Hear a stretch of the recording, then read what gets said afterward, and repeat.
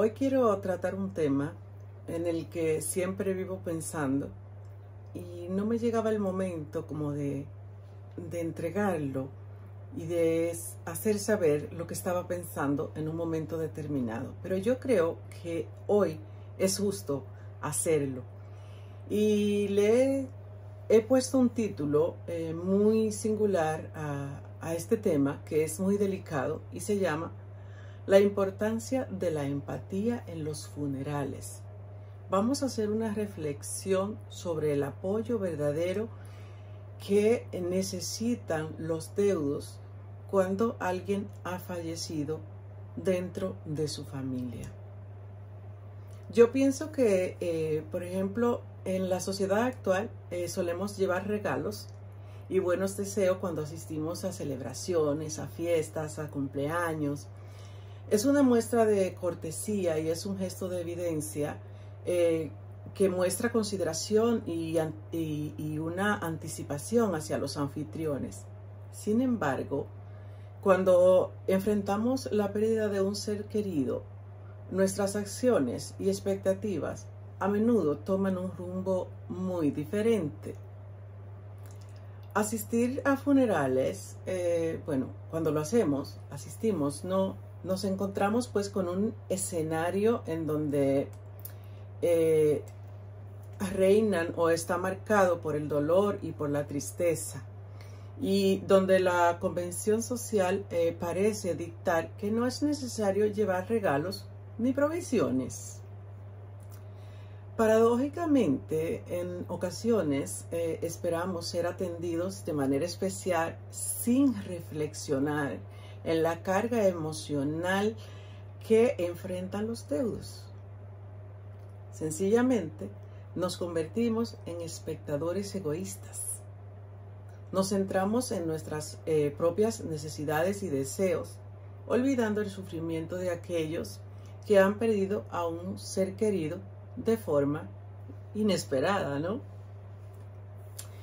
Estas preguntas me, surgen a mí pues eh, de forma natural y es que llevo esta inquietud y yo siempre digo, ¿no deberíamos reconsiderar nuestra actitud y llevar alimentos a los dolientes en estos momentos difíciles? O sea, ¿por qué nos comportamos de una manera tan insensible cuando no recibimos la atención que esperamos al expresar nuestras condolencias?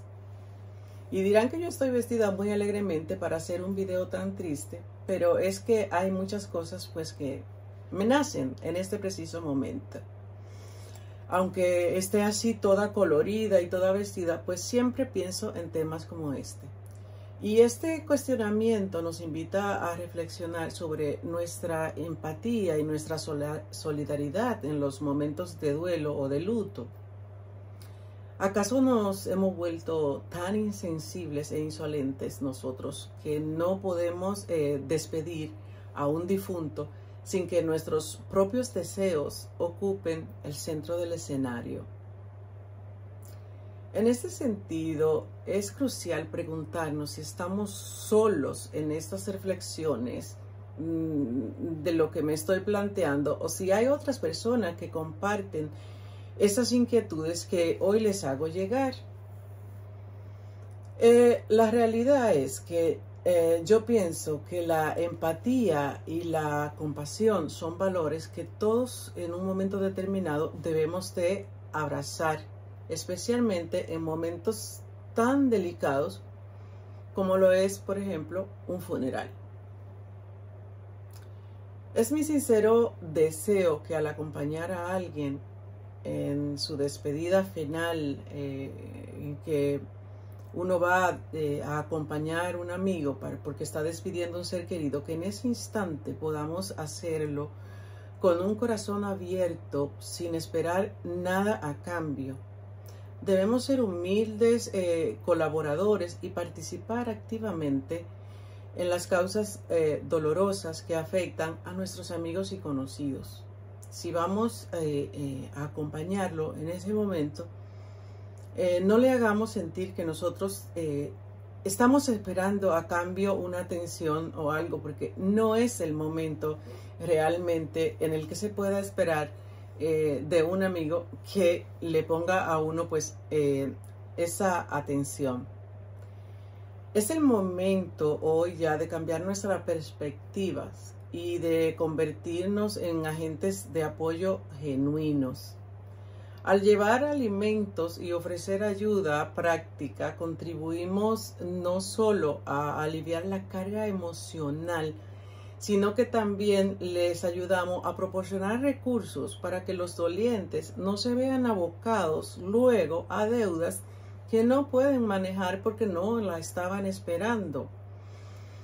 Eh, suele suceder pues que muchas personas no están preparadas para recibir a alguien cuando se le muere un ser querido porque sinceramente en ese momento no contaban con que esa persona se le iba a morir y por lo tanto no tienen en sus casas eh, los eh, insumos necesarios para recibir personas en su casa.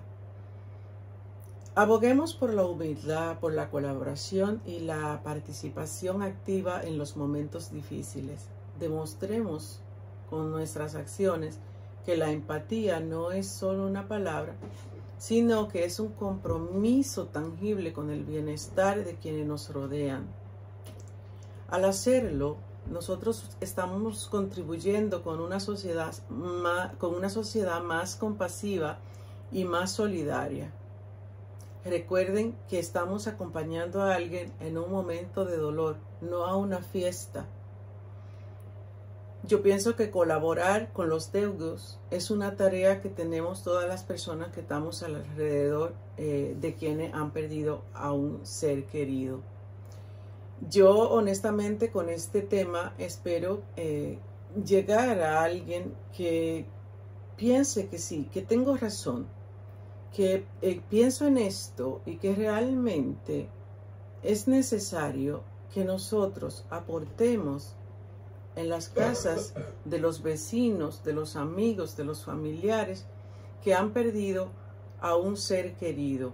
No necesariamente puede ser una ayuda económica. Por ejemplo, si usted lleva un paquete de azúcar, un paquete de café, eh, que no sea, no espere que sea para usted, espere, es por si llega alguien a quien los deudos necesitan o se sienten que le tienen que regalar algo. Pero yo pienso que no debiera de llegar a, este punto de que alguien esperen que le, que le den.